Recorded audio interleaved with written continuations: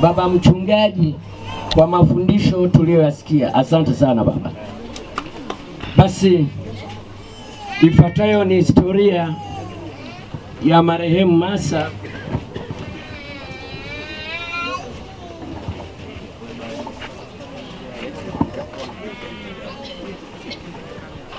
Historia fupi ya marehemu Masa Mikaeli Shilole.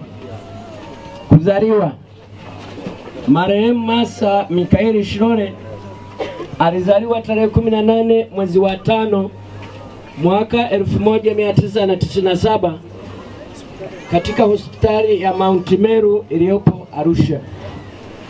Elimu. Elimu. Mnamo mwaka elfu mbili na tatu marehemu alianza elimu ya msingi katika shule ya Ruvu JKT Mlandizi na kuhitimu mwaka elfu mbili na tisa na kuanza masomo ya elimu ya sekondari mwaka elfu mbili na kumi katika shule ya sekondari Mkuranga. Nimekosea?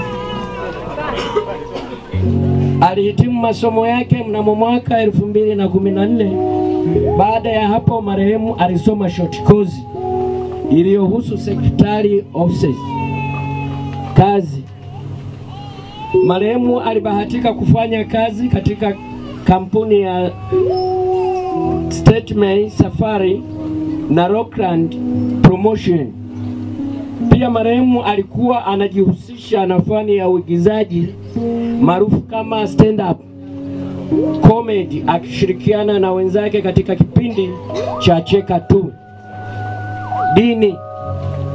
Marehemu alikuwa ni muumini wa Kikristo akiabudu katika kanisa la ECG Makongo Juu na pia alishiriki kwaya ya Pray Team. Ugonjwa.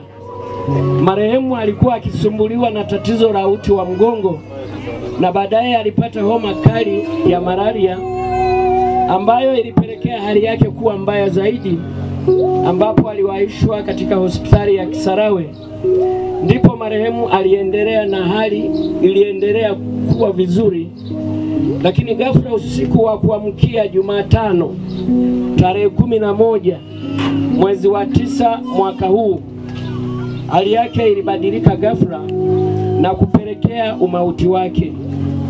Marehemu Masa Mikaeli Shilole alifariki tarehe kumi na moja mwezi wa tisa mwaka elfu mbili na kumi na tisa majira ya alfajiri akiwa na umri wa miaka ishirini na mbili.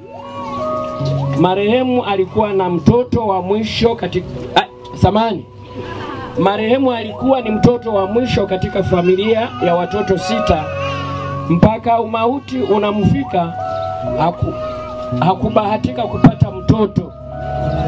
Hivyo marehemu ameacha mama, baba, dada na kaka mmoja. Ushirikiano kwa jamii iliyomzunguka. Marehemu alikuwa ni mcheshi na mwenye upendo kwa, u, kwa watu wote. Tutamkumbuka kwa hilo. Marehemu